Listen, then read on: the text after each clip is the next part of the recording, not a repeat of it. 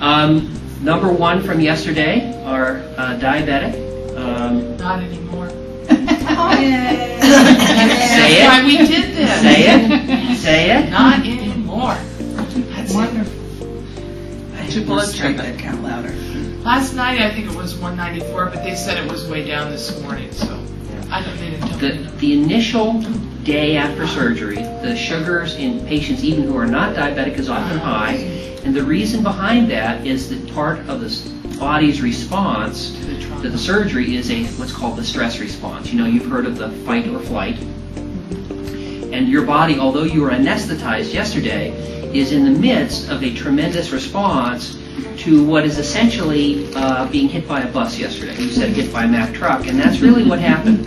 You were asleep for the trauma of being hit by a bus, but the body is responding to that Right. by releasing cortisol and adrenaline and other hormones, which can bump up your sugar during the first day. But we expect that that's a transient bump and it should drop.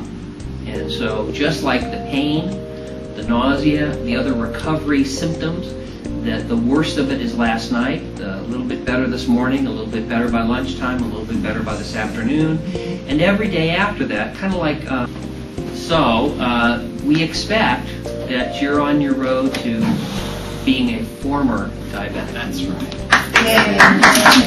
Yay.